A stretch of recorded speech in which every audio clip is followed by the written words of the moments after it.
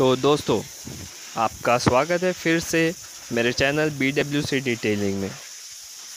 तो मैं आज आपको बताने जा रहा हूँ, पहले के टाइम पे जब फोम मशीन नहीं रहते थे, तब के टाइम पे सिर्फ़ एक प्रेशर वॉशर रहता था वॉशिंग सेंटर पे, कुछ इस तरीके से। और उस पर जो है तो फोम मशीन नहीं रहती थी। एक बकेट में बस जो भी शैम्पू और सोप रहता था उससे थोड़ा भिगा कर उसमें फोम बना लेते थे और गाड़ी पे अप्लाई करते थे कुछ इस तरीके से। जैसे कि आप वीडियो के आगे देख लेना। पहले पूरे जितनी भी गंदगी डर्ट वो रहती थी तो उसे पानी मार कर लूज़ कर देते थे और उसके बाद में कुछ इस तरीके से शैम्पू या जो भी सर्फ रहता था तो वो इस तरीके से मारते थे। इसके वजह से गाड़ी एकदम पहले के टाइम पे अच्छी निकल जाती थी। तो वीडियो को पूरा वॉच करने से पहले सब्सक्राइब ज़रूर कर देना।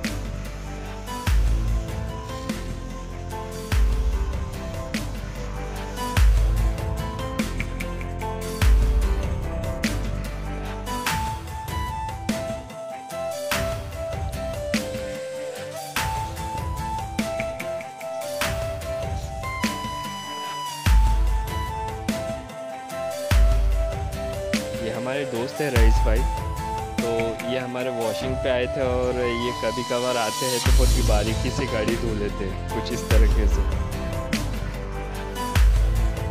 तो मैंने सोचा चलो, इनका एक वीडियो ही बना लेते जो जो वॉशिंग सेंटर्स वालों के पास होम मशीन नहीं है। तो ये देखो यार सिंपल तरीका है।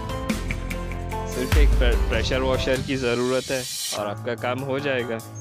आगे जब आप कमा लेते हो अर्न कर लेते हो, उसके बाद में फिर आपको जो जो लेना है वो ले लेना।